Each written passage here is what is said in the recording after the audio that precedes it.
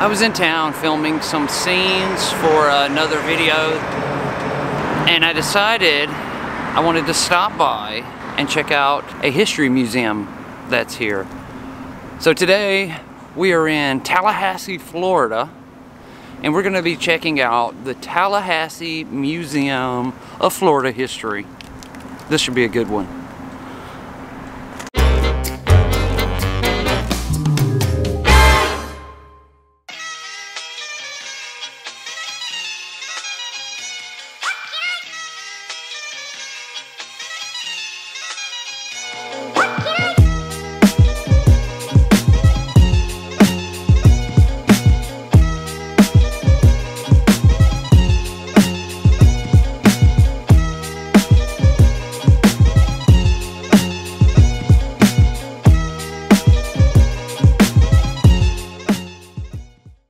I have, uh, I've not been inside of this museum before. Looking it up, it looked like a uh, neat place to visit.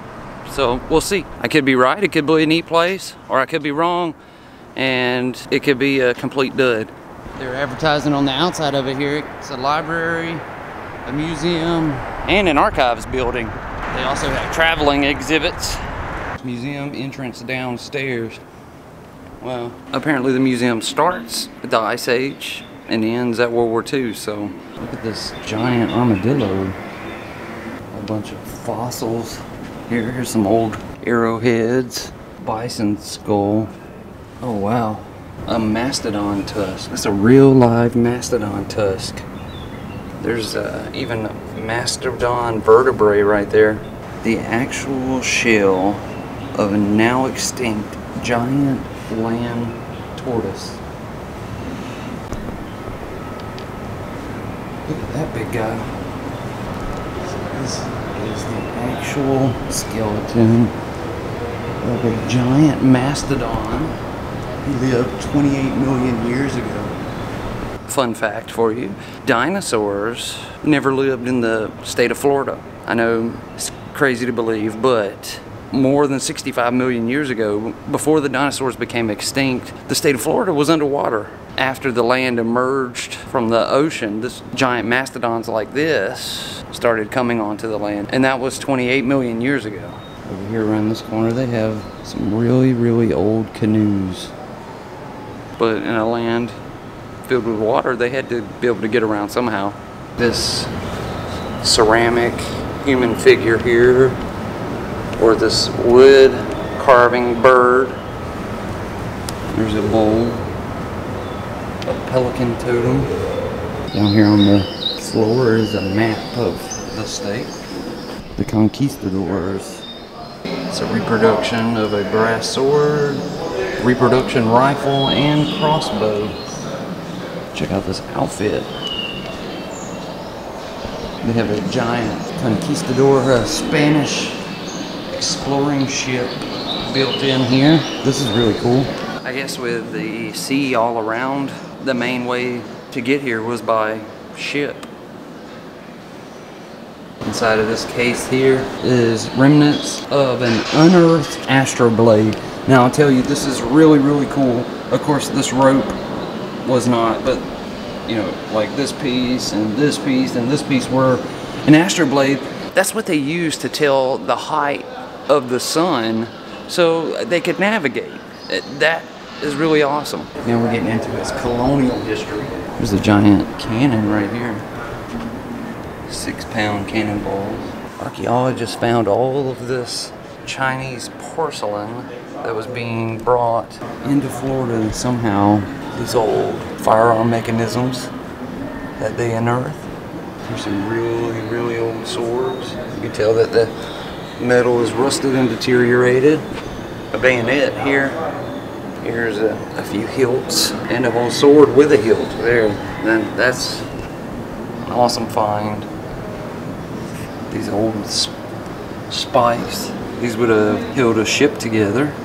It's like an old axe there and some old, really old pliers right there. Here's a uh, really old hammer. This case is full of silver, like silver currency. And over here is all gold coins Gold, here's gold chains. all of this gold and silver, it's all real. It's all real. They unearthed it out of the Gulf of Mexico, out in the waters. I'm certainly impressed with this place. Uh, I didn't. I did not think it was going to have this much in it at all. These are recreations, but this is what the fort wall would look like of these guard towers. Now, of course, this is a recreation, but look, they even have a cannonball wedged into it there. This is a real Spanish musket dated 1732 that's still in this condition. And this is also a real Miquelete pistol. Over here, this is a muzzle section of a cannon and a cannonball. Here's a picture of a fort. We saw a couple that look like this over off Dauphin Island. Now, th this is pretty interesting. These doors are off of a real church during the colonial time, St. Augustine's Church, in fact. They were hand carved. Everything is still there all the way to the locking mechanisms so they could lock the doors. Handle here on the outside. Man. And this bell stood outside of the church. Cool story about this bell. They actually found this in a pond near Madison, Florida. It was just down in the bottom of the pond. That bell was stationed outside of St. Augustine's Church. This is a real U.S. Army officer's coat, 1832. A Seminole Warrior Leader's outfit, 1832. Here's some more firearms. These would have been arms of the Second Seminole War. Look at that. With U.S. stamped in it right there. And the hands shaking. That's that's an amazing detail. This is the uniform of Captain Winston Stephens, the 2nd Florida Cavalry of the Confederate States of America. It looks like now we are getting into the Civil War. This I've seen many times before. This contraption would go with officers on the battlefield. This is an officer's traveling desk and they actually have handwritten letters here dated 1861, December 22nd. This would have been a Civil War medical officer's surgeon uh, field kit so they could saw off limbs and remove bullet fragments and all that good stuff just out on the middle of a battlefield. Pepper box pistol right there. I hadn't seen one of those in quite a while. Check this out. It's a tree that's got several cannonballs lodged into it. This was from the Battle of Chickamauga. This old chest here, on top of it is a spyglass, some shoulder pins, a watch, a pocket watch right there, an old rifle. Oh wow, look at that drum. It says that is not a reproduction, that is a real drum, a military side drum carried during the Civil War. Down here we have a used field surgery kit with a tourniquet and saw blade. In fact, uh, this kit was used at the very end of war uh, of the Civil War, and it actually amputated this guy's arm. See his arm, his left arm there is amputated. The saw right here in the front is what cut his arm off. That is absolutely nuts.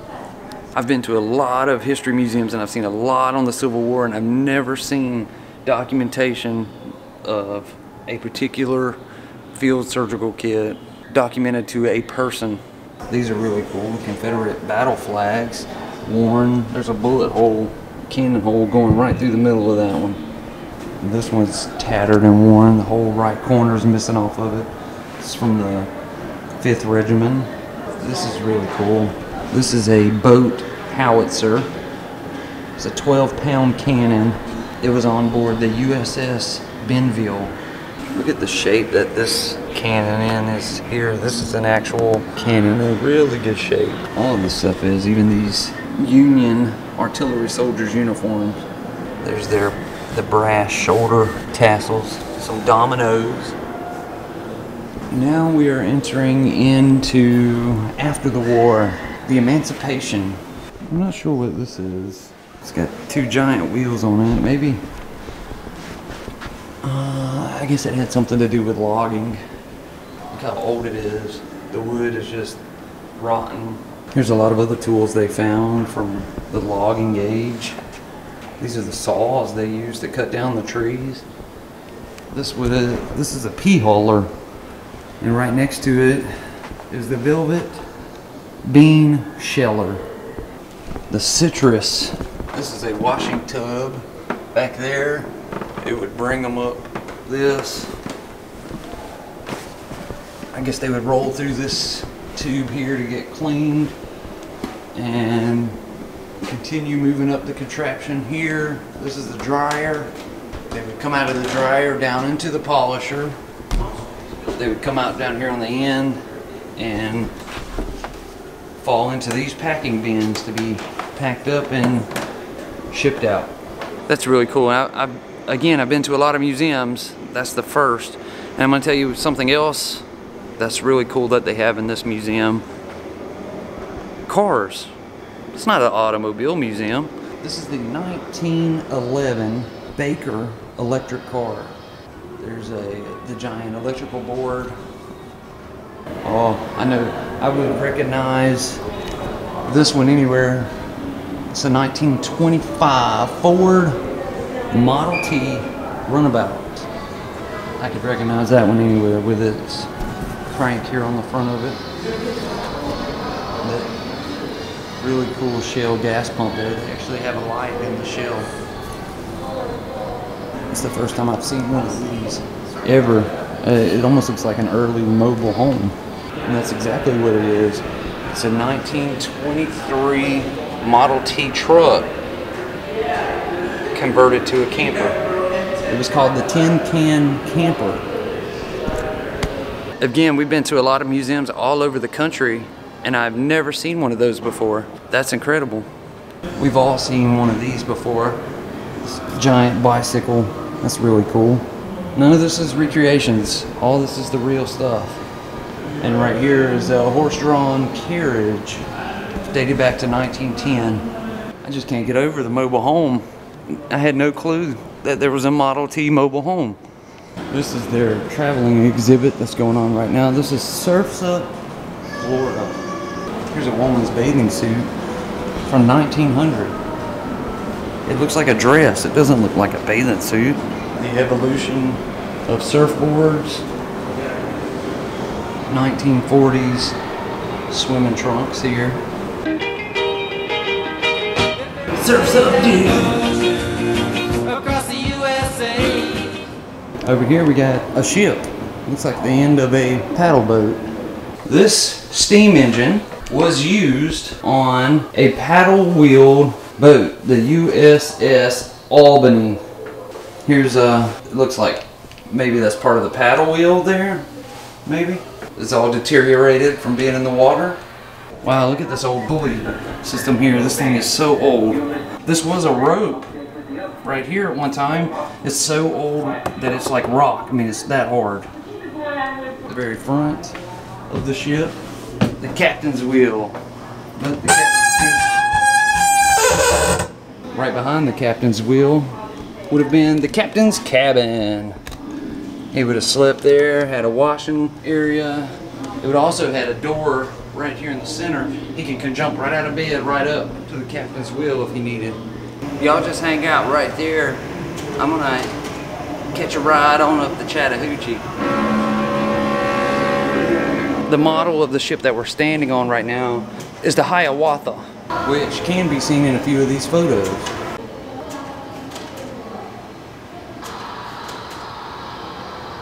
We're done with the riverboat era. We're gonna go into probably one of my favorite eras in history, World War II.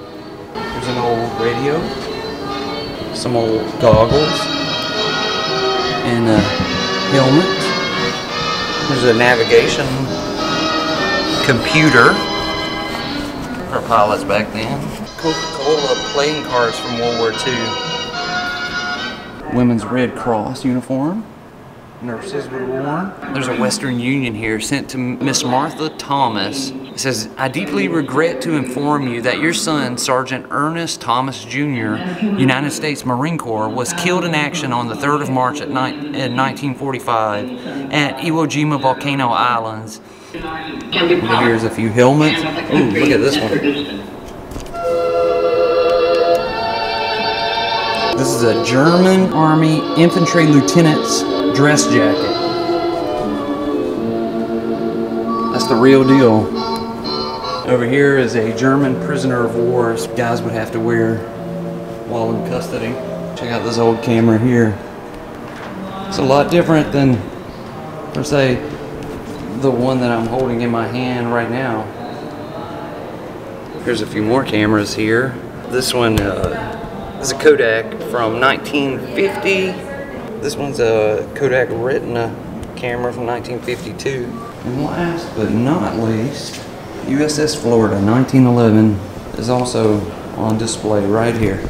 And that is going to do it for the Tallahassee Museum of Florida History. I was very much impressed with this place, very much impressed.